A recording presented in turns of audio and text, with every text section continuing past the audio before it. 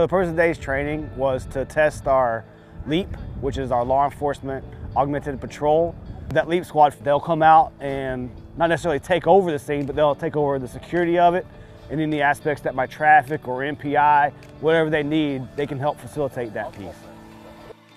It's good training from the, the supervisor all the way down to private where they're doing the 1594, logging people in and out.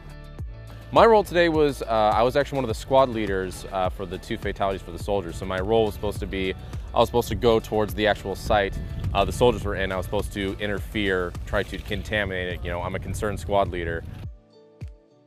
My whole traffic squad is out here. This is great training for the, the incoming traffic personnel to get this training in before they do actually have to have it live.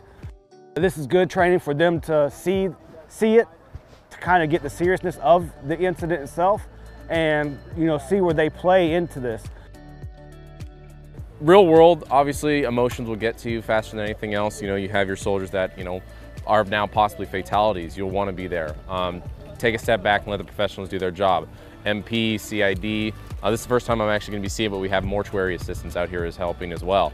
Um, you know, fantastic people that are doing the right thing, and so take a minute, disconnect yourself from the situation. I know it'll be very difficult if this ever happens to you, and God forbid, we never want this to happen to any soldiers or anything like that.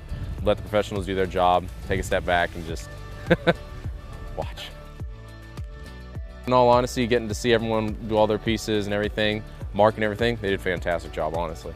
They took care of my coworkers really well, Sergeant Tang, you know, injury, they did really well. King Cannon had a leg injury and I saw them brace him up, get him in the ambulance. That was really good to see. They did a fantastic job, honestly. so if you come across a scene like this in a real world situation, if you do not see any type of uh, emergency vehicles out here, give it, make sure you call the PMO or 911.